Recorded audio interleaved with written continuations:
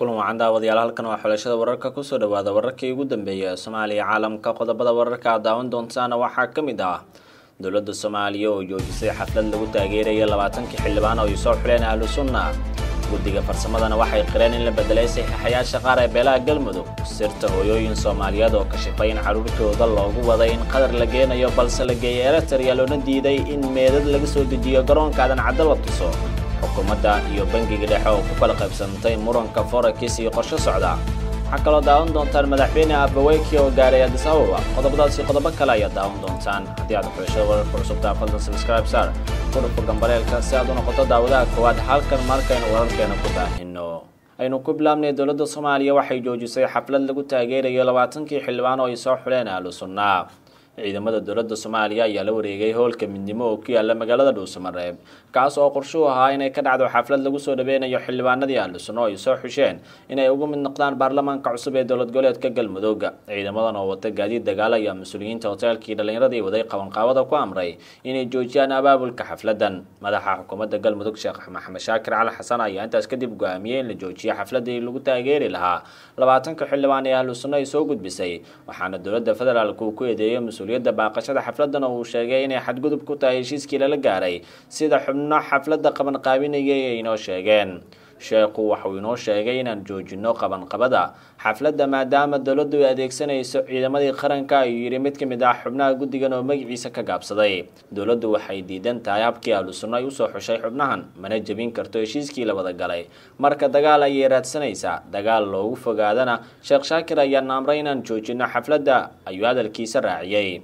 guddiga farsamada maamul dhisida galmudug ayaa xalay soo saaray shuruudo ay marayaan. Siddeetan iyo sagaalka xubnood oo ka mid noqonaya baarlamaanka labaad ee galmudug oo dhowaan la soo xuli doono. Waraaqda ay guddiga soo saareen ayaa u muuqatay in gebi ahaanba dowladda aysan aqoonsaneen. Xildhibaanada ahlu sunno ay soo qortay kadib cabasho ka timid qaar ka mid ah odayaasha dhaqanka ee saxiixayaasha kuwaasoo ku eedeeyay ahlu sunno inay iska indhitirtay saami qaybsiga qabiilada iyo xubnaha qaar oo ay ku qortay kuraas aysan qoonda ahaan u lahayn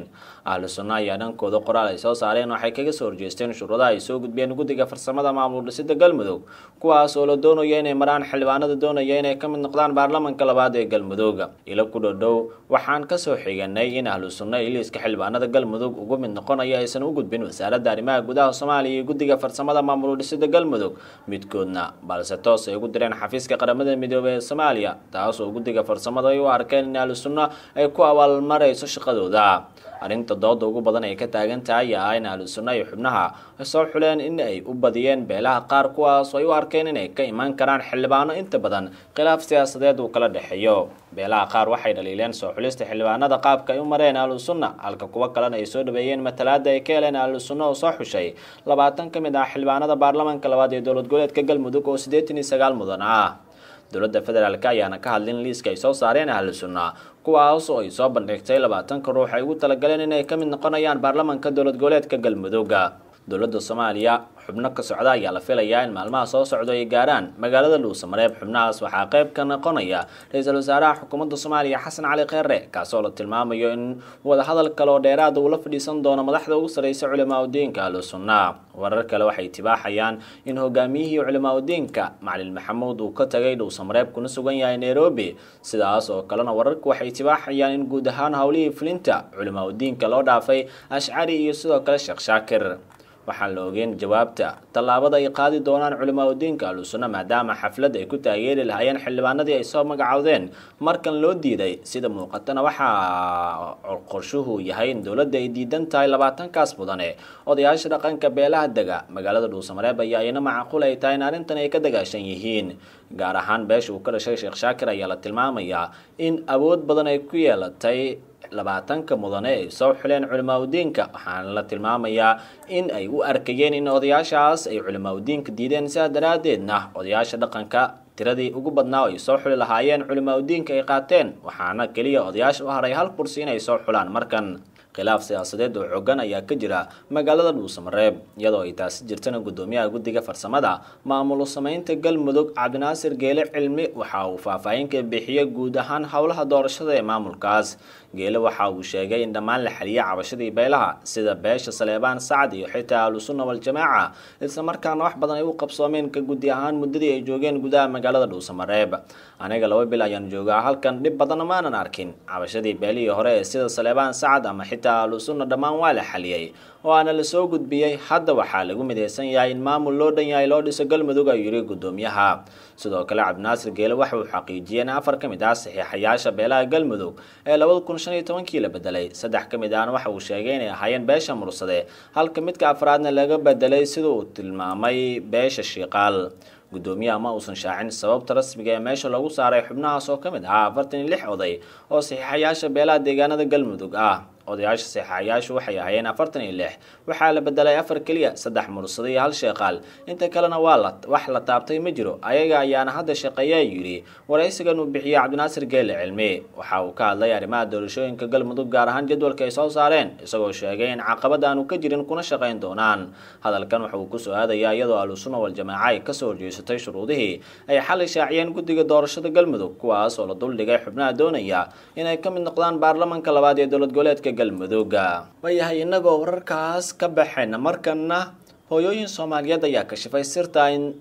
wiilashooda loogu waday in la geynayo dalka qatar balse eritrea la geeyey qaar ka mid ah waalidiinta magaalada muqdisho ayaa sheegay inay cabasho ka yihiin wiilal ay dhaleen oo ay sheegeen dowladda soomaaliya askar ahaan ay ugu qaadayso dalal dibadda ah. Ruqyo sahal cangul af yare oo ah hooyada wiil sagaal iyo toban sano jir ah oo shir jaraa'id ku qabatay muqdisho waxay sheegtay in dowladda soomaaliya u sheegtay in wiilkeeda tababar loogu qaadayo dalka qatar balse la geeyay dalka eritrea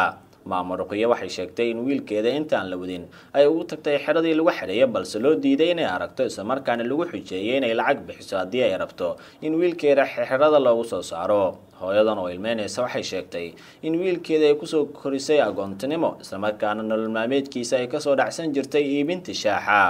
Waxay sheegtay in loo sheegay in wiilkeeda uu lacag ka qaatay shaqsi dowladda ka tirsan balse ay diiday inay sheegto sababo amni darteed hooyo ruqyo ayaa madaxda ugu sarreysa dalka ka codsatay in nolol ama geeri lagu sheego wiilkeeda oo sida ay sheegtay ka maqan muddo saddex bil. Shirka jaraa-id oo hooyo ruqyo waxay sidoo kale ka soo muuqday hooyooyin kale oo iyana ay ka maqan yihiin carruurtooda kuwaas oo tilmaamay in carruurtooda loogu waday in la geynayo dalka qatar balse la geeyo eritrea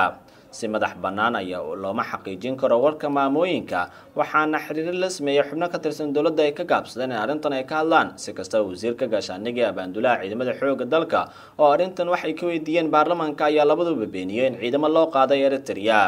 sida muuqata maamada waxay sidoo kale tilmaamtay in waayadii u dambeeyey ay ku laabanayeen xalano sababo la xidhiidha inay maqleen warar ah in askar loo geeyay eritrea iyagoo meyd ah la keenay muqdisho balse waxay tilmaamtay in hooyooyinka qaar loo ogolaaday inay soo arkaan halka iyada iyada iyo kuwo kaloo ay ku jirtona loo diiday. Arrintaas oo maamada weli shaki weyn ay ka qabto in ay jiraan in askarta qaarkood la soo laayo ayagoo meyd ahna muqdisho laga soo dejiyo sida ay tibaaxayso maamo ruqiyo oo aada u ilmeynaysay xilliga ay sirtan ka shifaysay oo ay ku kala qaybsadeen muranka forex xukuumadda federaalk waxay shaacisay inaan laga talagelin go-aankii bangiga dhexe kasoo saaray shirkadaha ka ganacsiga sarifka lacagaha qalaad ee suuqyada caalamiga sida ay baahisay warbaahinta war ka soo baxay maamulka bangiga dhexe kuna taariikheysnaa labaatan iyo saddexdii disembar labada kun sagaal iyo tobankii waxaa lagu amray bangiga ganacsiga ee gudaha inay joojiyaan dhaqdhaqaaqa dhammaan xisaabaadka forex gudoomiyaha bangiga dhexe cabdiraxmaan maxamed cabdulaahi oo u waramay v o e da waxa uu go-aankan ay ku qaateen waxa uu kusoo weeyey cabasho kaga timid dadweynaha iyo ganacsatada qaar.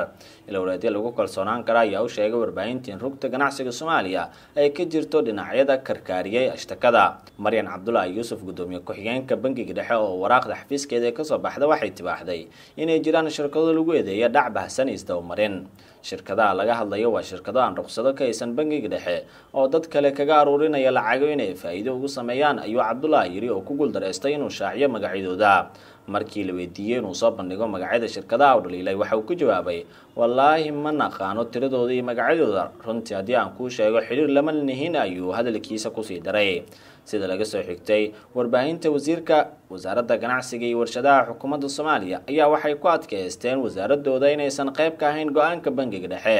wasaaradda ganacsigu waxay sheegtay inaanay war weyn go'aankan oo aan ayagu lagala tashan. Waxayna wasaaraddu intaas raacisay inay shatiyo siiso shirkadaha ka ganacsiga lacagaha qalaada yiri warbaahinta sida ay sheegeen. Bishii oktoobar sannadkii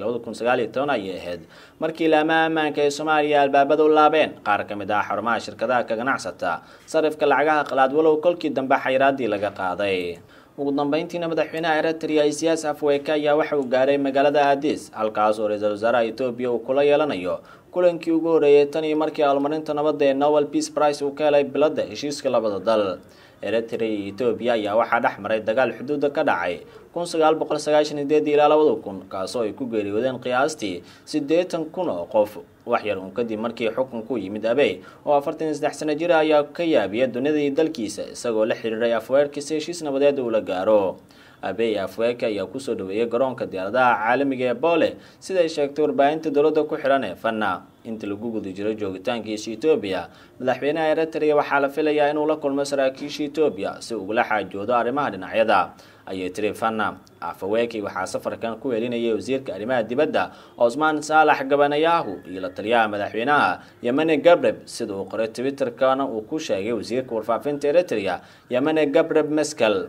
labada hogaamiye waxa ay ka wada xaajoon doonaan. Sare u qaadista arrimaha muhiimka ee labada dhinac iyo arrimaha gobolka yidhi wasiirka warfaafinta yemene guud ahaan daawadayaal waan eegeyntaas warkii aad kala socoteen xulashada wararka. Waad ku mahadsantihiin sida wararkeen aad ula socotaan nabadgelyo